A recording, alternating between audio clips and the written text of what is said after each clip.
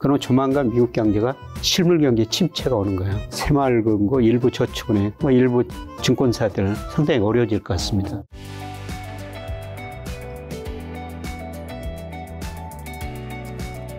자, 그 이번에 이제 좀 금융 시장에 대해서 여쭤보려고 하는데, 지난번에 이제 출연하신 이유로 이제 미국의 은행들, 그 다음에 뭐 스위스 은행, 독일의 은행들이 이제 뭐 파산 및 유동성 위기가 일어났었는데, 그 충격은 교수님께서는 어느 정도로 보시나요? 우리가 왜 이런 일이 벌어졌는가 본질적인 문제를 우선 한번 생각해 봐야 되는데요. 2020년 코로나를 겪으면서 미국이 역사에 없을 정도 돈을 많이 풀었거든요. 돈을 많이 풀다 보니까 모든 자산가에서 거품이 발생했죠. 네. 주식, 채권, 뭐 부동산. 그 거품이 붕괴되는 과정, 특히 채권의 거품이 붕괴되는 과정에서 실리콘밸리 뱅크 파산이 일어났고요. 예, 그런데 최근 그 2주 동안 보니까 미국 은행들 대출이 역사상 가장 많이 줄어들었다는 겁니다. 대출이 줄어드는 것은 앞으로 기업이 투자 별로 못하고 가게가 소비를 별로 못하겠다는 겁니다. 네. 그럼 조만간 미국 경제가 실물 경제 침체가 오는 거예요. 어, 롤링 리세션이란 그런 표현이 사용되고 있습니다만은 자산 시장에서 경기 침체가 왔죠. 침체. 네. 그 다음에 금융회사 침체가 오고 그 다음에 실물 경제 침체라는 겁니다. 네, 그런데 이번 보면서요. 사실 세계 정부가 너무 빨리 대응해요. 그렇죠. 실리콘밸리가 14시간 만에 파산. 예, 14시간 만에 뭐 파산했는데 또 금방 저 정부가 좀 지원해 줬지 않습니까? 예, 대표적으로 뭐 은행 저 예금 보장 한도가 25만 달러인데 전액 보장했다. 예, 그리고 뭐 스위치 여성부가 그 UBS하고 같이 CS 금방 인수해 버렸지 않습니까? 이렇게 정부 대책이 굉장히 빠르기 때문에 이제 그큰 금융회사까지 리스크 뭐 시스템 리스크는 저는 아니다. 네. 이렇게 지금 보고 있습니다. 어, 그럼 미국 정부가 이제 예금 이제 전액 보증했는데 이런 것들은 앞으로도 계속 가능한 일인 건가요? 사실 뭐 무한정 제약이 있는 건 아니니까요. 무한정 할 수가 없죠. 예, 저는 저 미국 사람들이 좀 이상한 사람들이라고 생각하는데요. 97년 외환위기 때 우리 경제 그렇게 나쁘진 않았었어요. 네. 예, 단기 유동성이 부족해가지고 외환위기 왔었거든요. 예, 그런데 일부 국가에서 우리나라에서 돈을 좀 대출 빌려준다고 그랬는데 미국이 막았다는 거예요. 음. 그 IMFB와 그 뭐 거기에 다 나온다는 겁니다. 네. 그리고 우리한테 정말 그 20% 넘는 고금리 천박을 해가지고 뼈아픈 구조조정이 했지 않습니까? 근데 자기들은 그 2008년에 금융위기 오고 GM이 파산 상태 가니까 뭐저 공적자금 투입해가지고 구제했지 않습니까? 네. 그거 이번에도 보면은 이렇게 작은 은행들 사실 파산해도 큰 은행은 괜찮거든요. 네. 예, 그런데 구해주는 거 보고 이게 우리한테는 그렇게 가감한 시장주의 처방을 내린 미국이 네. IMF를 부추겨가지고요. 네. 네. 근데 자기들은 스럽고 저 시장에 어긋난 일을 하고 하는 거 보니까 참 좀 미국이 과거의 미국은 아니구나 이런 생각이 듭니다. 그럼 이 실리콘밸리에는 진짜 위험한 환경이 처해진 혹시 은행은 미국에 좀 어느 정도 숫자가 될까요? 그거는 알 수가 없는데요. 네. 근데 미국 은행이 만 개가 넘는다는 겁니다. 그렇게 많나요? 예, 중소형 은행이.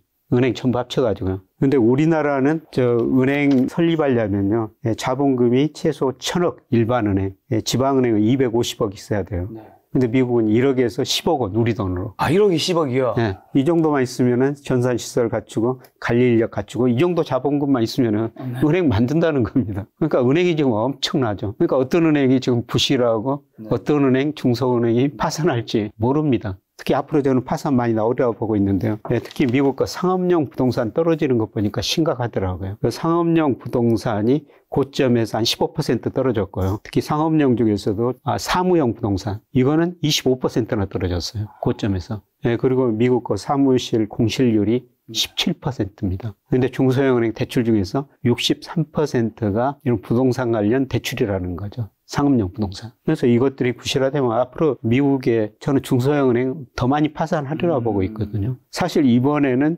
정부가 별로 개입 안 했죠. 이번에 그 First 무슨 은행이죠? 거기 파산하니까 미국의 큰 은행들이 지금 대형 은행 쪽으로는 돈이 많이 들어오거든요. 네. 돈이 남아돌죠. 네. 그 은행들이 돈 모아가지고 그 은행한테 중소형은행한테 빌려준 거예요.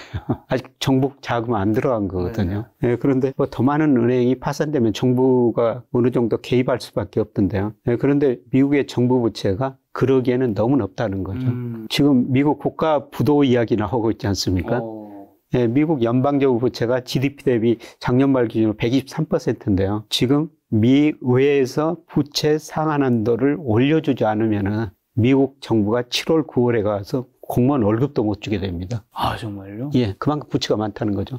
물론 과거에 미국 정부가 부도난 경우는 없어요. 네. 막바지까지 견디다가 미회가 부채 한도를 올려줬죠. 어. 예, 그런데 미국 정부 부채가 그렇게 많으니까 뭐 미국 정부가 은행에 공적 자금 투입할 능력은 별로 없는 것 같아요. 근데 교수님 말씀 들어보니까 중소형 은행들의 파산들은 연이어서 계속 네. 일어날 것 같은데 이게 뭐 금융 시스템 위기, 금융 위기로까지 발전한다고 생각하지는 않으시는 것 같은 좀 뉘앙스가 있네요. 예, 제가 가끔 그 예를 드는데요. 제가 뭐 한 달쯤 전에 친구들 모임이 있어서 대전 갔었어요. 어, 택시를 탔는데 우리가 저 금융 이야기 하고 있으니까 택시 기사분이 저 로또 1등에 당첨됐대요. 네? 로또 1등 당첨. 진짜로요? 예. 아 본인이? 예. 본인이 직접. 그래가지고 세금 내고 나서 한 12억 정도 남아가지고 예, 그 돈을 두 저축은행에다가 나눠서 넣었대요. 6억씩 6억씩. 예, 그런데 실리콘밸리 은행 파산되니까 그 날 저녁에 잠을 못 잤다는 겁니다. 어 그렇죠 그렇죠. 왜냐 은행 혹시 이 저축은행이 파산해 버리지 않을까, 못 찾을까. 예, 그래서 다음 날 그 은행들, 그 저축은행도 문 열자마자 가서 찾아가지고 그 은행을 금리는 낮지만은 우리나라 대표적인 국채은행, 그 정부가 대주진 은행이 있거든요. 금리 많이 낮죠. 네. 거기다 돈을 맡겼다는 겁니다. 그래서 뭐 예를 든 것처럼 미국도 그렇지만은 중소형 은행에서 돈이 빠져나가고 빠져나가겠죠. 대형 은행은 돈이 더 많이 들어오고 있다는 네. 겁니다. 그래서 이런 것 보면서 저는 뭐 이번이 금융 시스템 리스크까지는 가지 않을 것이다. 그렇게 음. 보고 있습니다. 금융 시스템 리스크로까지 가려면 그런 작은 은행이 아니라 대형 은행에서 대형 은행. 그런 것들이 터져야 되는데 예. 그럴 가능성은 그렇게 않다. 예, 그렇습니다. 우리나라도 마찬가지고요. 우리나라 저 일부 저축은행, 새마을금고, 예, 그다음에 일부 증권회사들 그동안 채권 시장 안 좋고 네. 뭐 주시장 별로 안 좋고 부동산이 거의 지난 10년간 계속 좋다 보니까 부동산 투자를 엄청 했거든요. 네. 근데 그런 회사들은 어렵죠. 지금 거의 매, 매일 그 우리 신문 특히 경제신문 보면은 예, 부동산 PF 부실이 네. 새마을금고 얼마다 저축은행 얼마다 음. 금융권별로 계속 나오거든요. 예, 그런데 은행은 별 문제 없을 것 같아요. 큰 은행들. 네. 예, 그런데 새마을금고, 일부 저축은행, 네. 뭐 일부 증권사들 상당히 어려워질 것 같습니다. 어, 그러면 저희 시청자분들 중에서는 또 저축은행 이런 데 예금하신 분도 있으니까 네. 그런 분들 사실 뭐 정부도 중요하고 기업도 중요하지만 가게 또 개인이 또 어떻게 보면 저희 입장에서 가장 중요한 예. 거잖아요. 그런 분들은 좀 더 안전한 은행에 좀 시중 대형 은행에 옮기는 게 더 현재로서 현명한 선택일 수 있을까요? 뭐 5천만 원까지는 정부가 보증해 주지 않습니까? 거기까지는 괜찮고. 예, 거기까지는 괜찮은데 네. 뭐그 이상 가지신 분은 아까 저 복권 당첨 로또 당첨된 네. 말씀드렸습니다만은 그런 식으로 이제 수익률을 포기하면서 음. 안정성을 찾아가는 거죠. 네. 예, 그래서 자금 이동이 많이 이루어지고 있는 것 같아요. 어. 예. 근데 아까 전에 이제 미국 국가 보도 얘기를 해주셨는데 그런 일이 일어날 수 있다는 건가 아니면 그런 일이 일어날 정도로 미국의 경제 상황이 안 좋은 거지 그럴 가능성은 뭐 거의 없다고 보면 된다. 국가 부도는 뭐 안 일어날 텐데 네. 그만큼 미국 정부 부채가 많다는 겁니다. 그래서 경기 침체가 오더라도 그 다음에 은행이 파산되더라도 네. 정부가 쓸 돈이 별로 없다는 겁니다. 네. 근데 이번에 저 공화당이 좀 빨리 해줘야 될 텐데 네. 끝까지 버틸 것 같아요. 공화당은 계속 네. 이제 미국에는 크게 민주당, 공화당 있지 않습니까? 있죠. 민주당은 큰 정부를 추구하고요. 네. 공화당은 작은 정부를 추구하거든요. 시장이 맡기는 정책이 예, 시장을 더 중시하는 정책이죠. 그래서 공화당이 계속 정부 지출 몇조 달러 삭감해라. 어. 그거 안 하면은 우리 승인 안 해주겠다. 아. 이런 식으로 나가고 있는 거죠. 네, 네. 예, 그런데 국가 부도 가면은 안 해주면 공화당도 욕 엄청나게 얻어먹게 그렇죠, 되거든요. 심각한 문제예요. 그렇죠, 그렇죠. 네. 다 죽는 거잖아요. 예. 그래서 결국은 해주고는 말 텐데 그만큼 미국 국가 부채가 많다는 거고요. 근데 2011년 8월 달에 이런 문제가 있었어요. 그때도 국가 부채가 막 늘어났거든요. 네. 예, 그래서 이걸 보고 S&P란 신용평가 회사가 네. 미국 국가 신용 등급을 한 단계 떨어뜨리는 거예요. 그때 엄청난 충격이 있었죠. 오, 미국이 등급을 낮추면 어떤 일이 벌어지죠? 미국 주가가 떨어지니까 세계 주식시장으로 자금이 빠져나가 버립니다. 그래서 2011년 8월 달에요. 우리 코스피도 한 달 사이에 20%나 떨어졌어요. 한 달 사이 20%면 그 심각한 정도입니다. 네, 그때 생생히 기억하는데요. 뭐 제가 자문회사 친구들하고 같이 할 때였는데 네. 한저 부자국이 저희 회사한테 500억을 맡겼어요. 500억이요. 예, 큰 돈이죠. 개인인가요? 개인. 돈 많다. 예.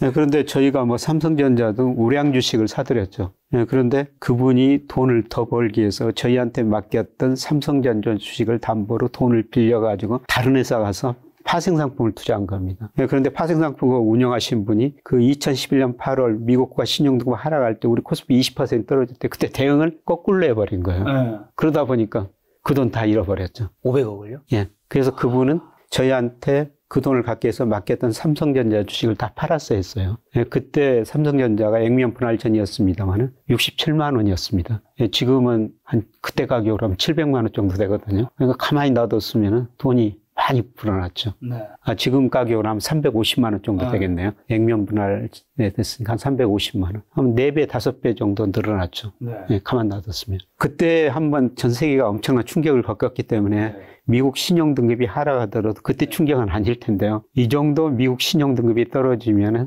미국뿐만 아니라 전 세계 주시장이 심각한 타격을 받을 수가 있다는 겁니다. 미국의 신용 등급 하락은 충분히 어느 정도 일어날 수도 있는 일인 것 같네요. 예, 예, 그렇습니다. 예, 그런데 결국 미 의회가 막판에 가서 아마 6월 말쯤이나 가가지고 그 부채 한도를 올려줄 것 같아요. 네.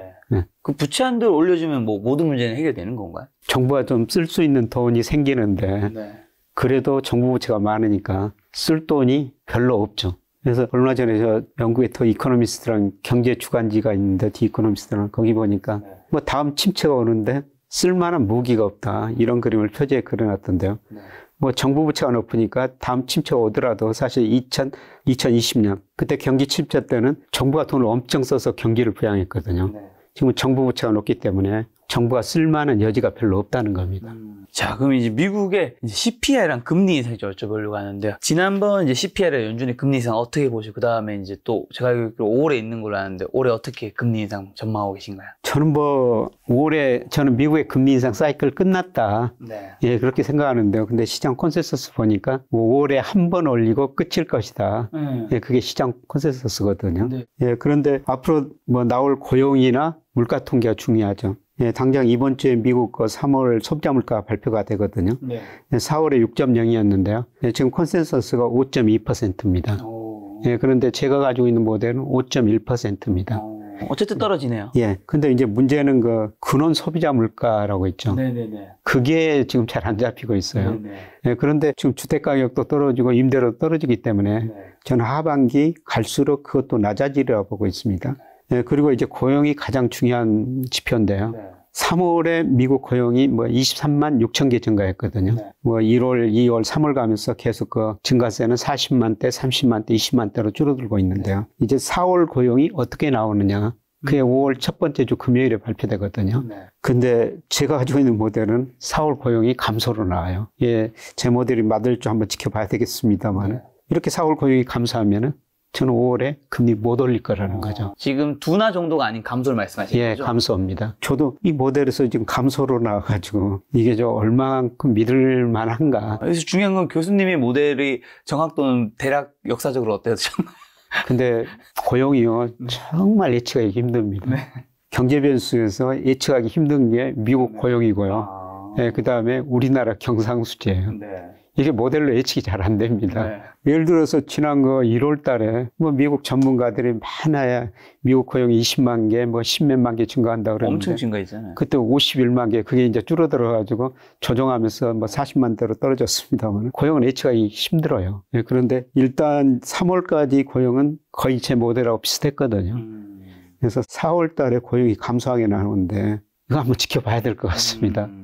교수님은 금리 3번 정도 더 할 수도 있지만 5월에 금리 인상 그냥 동결할 수도 예, 있다. 동결하고 예, 빠르면 3분기 후반, 늦어도 올 4분기에는 저는 미국이 금리를 인하할 거라고 아. 인하한다고? 예, 예. 인하 못 한다고 보시는 의견도 굉장히 많죠. 예, 대부분 시장인데요. 예, 저는 뭐 미국 경제가 네. 올해 대부분 전망하는 기관들이 1% 안팎 전망하고 있어요. 올해 경제 성장률이요. 예, 노무라 같은 데는 마이너스 성장하고 예상하고 있죠. 뭐 제 모델도 올해 미국 경제 마이너스 성장입니다. 노무라처럼요. 예, 그러면은 실제 GDP가 잠재 GDP 밑으로 많이 떨어지고요. 예, 그 다음에 미국 근원 소비자 물가, PC 개인 지출 소비자 물가 있거든요. 이거는 4분기 3% 이하로 떨어져요. 그래서 저는 예, 미국 이거 4분기 가면은 금리 인하할 수 있다. 음. 이렇게 지금 보고 있는데요. 이미 저, 저는 시장이 많이 반영했다고 생각하고 있어요. 예, 달러 지수가 작년 뭐 10월에 114까지 갔다가 네. 최근에 102 안팎으로 달러 지수가 많이 떨어졌거든요. 많이 떨어졌죠, 많이 떨어졌죠. 예, 달러 가치가 떨어진다는 것은 외환 시장이 보기에는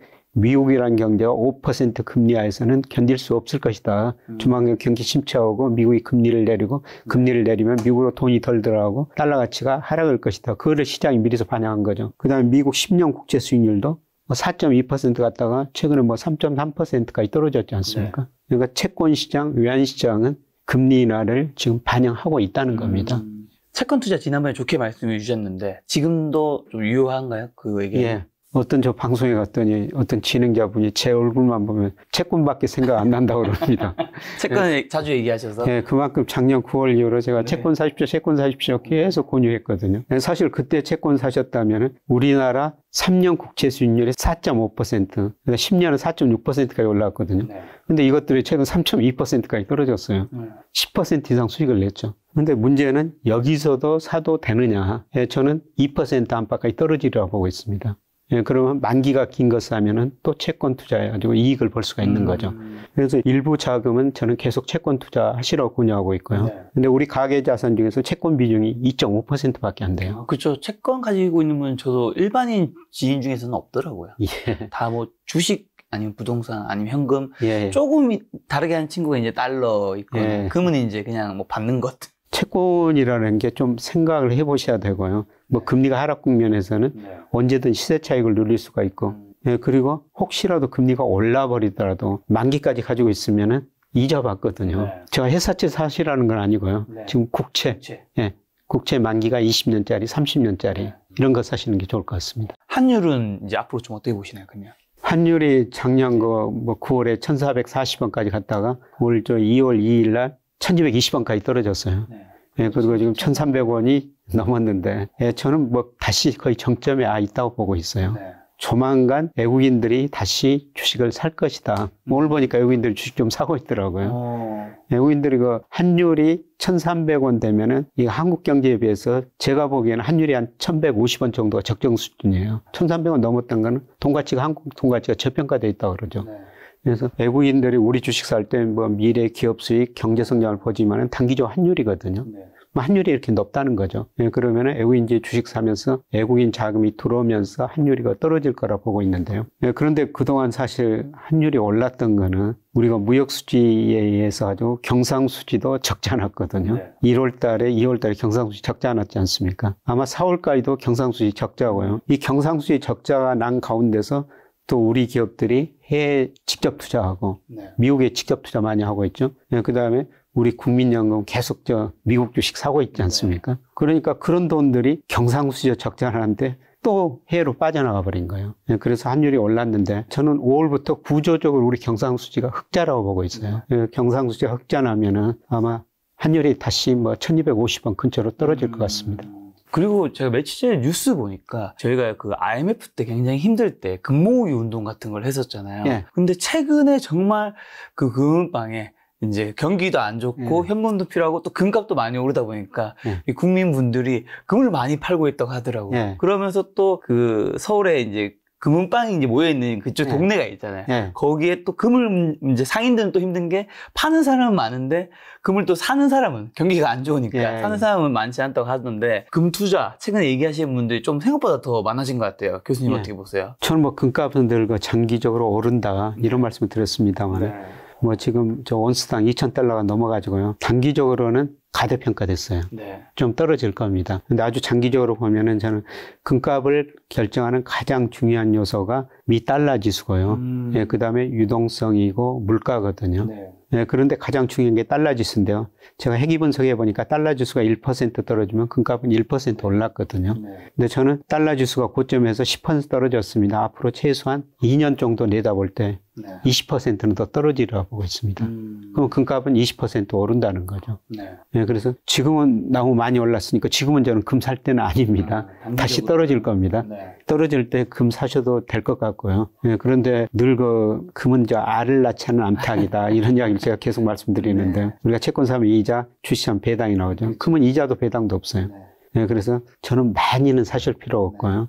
예를 들어서 투자할 자산이 뭐 1억이다 그러면 한 천만 원 정도, 10% 정도는 예, 금을 사셔도 될 것 같습니다. 금이 이제 금을 낳을 수 없다라는 말씀해 주셨는데 금의 편에서 잠깐 들어주면 대신 금은 사라지진 않잖아요. 그렇죠. 사라지진 않죠. 예, 암탉이 이제 주식 같은 경우는 사라지는 경우들이 좀 있어서 예, 금은 사라지진 않습니다. 예, 계속 그 금은 저 계속 빛나죠. 장기적으로 계속 금은 빛날 겁니다.